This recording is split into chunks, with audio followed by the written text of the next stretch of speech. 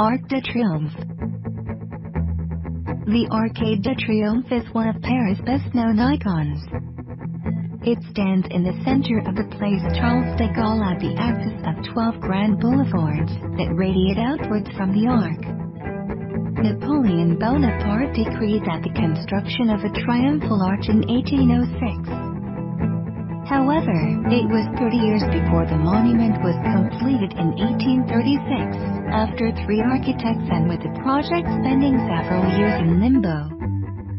The Arc de Triomphe is richly decorated with four sculptural groups commemorating French victories in 1792, 1810, 1814 and 1815. There are also six reliefs that show important moments in the French Revolution, you're able to visit the Arc de Triomphe through underpasses from Champs-Élysées and Avenue de la Grande Armée.